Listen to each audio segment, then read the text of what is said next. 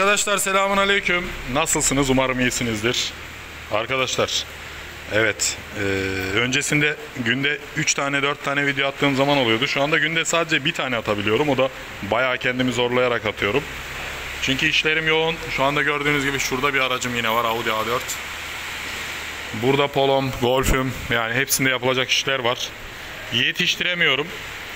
Fakat şimdi çalışırken şöyle bir şey hissettim ve sizlerle bunu paylaşmak istedim. Siz değerli takipçilerimle, siz değerli dostlarımla, tamirhane ailesiyle. Şöyle, şimdi araç sahibi yorumlarda büyük ihtimal yazacaktır zaten. Bu araç geldi bana BSE motor 1.6 Jetta. Şöyle uzaktan göstereyim. Burayı açtım leş gibiydi. Çamur, pislik, işte sinektir, kelebektir, böcektir her şey içeride vardı. Kumdur, çakıldır. Pırıl pırıl temizledim. Her zamanki yaptığım gibi şöyle parçaları siliyoruz, parlatıyoruz yeni gibi. Eski parça bu.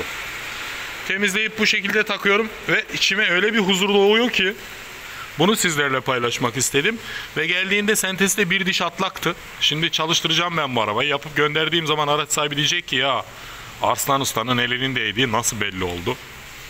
Diyecek yani bunu hissedecek biliyorum. Çünkü sentez açıkken hem düzensiz çalışıyordu hem çekişi zayıftı. Şimdi o da düzelecek. Daha bir güzel olacak. Şöyle bakıyorum pırıl pırıl tertemiz.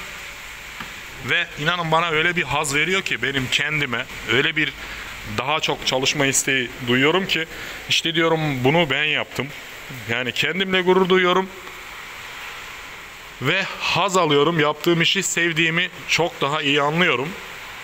Böyle bir duygu içerisine girdim ve bu duygumu da sizlerle paylaşmak istedim. Yani nasıl duygular içerisinde olduğumu anlayın. Evet iş o kadar çok yoğun ki inanın bana gerçekten yoğun. Pa- panom orada dolu çoğu randevular orada yazılı değil. Yazılı olmadığı halde dolu yine de. Yani durum bu şekilde olmasına rağmen kesinlikle acele etmiyorum.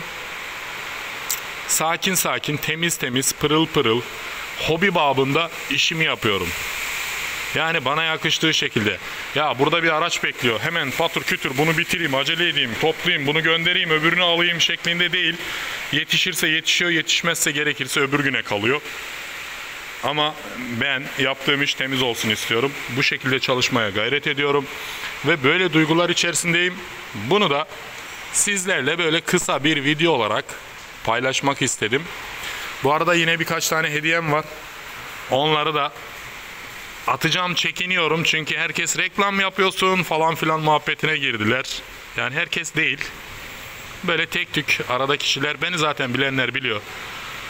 Kemik takipçi kitlemiz kim olduğumuzu ne olduğumuzu çok iyi biliyor. Niyetimizi çok iyi biliyor. Onlar herhangi negatif bir şey yazmıyorlar ama kanala sadece yeni yeni daha birkaç gün ya da bugün dahil olmuş kişiler negatif şeyler yazıyorlar. İster istemez insanın canını sıkıyor mu sıkıyor ama ben artık onları okumuyorum. Onun için pek de problem değil.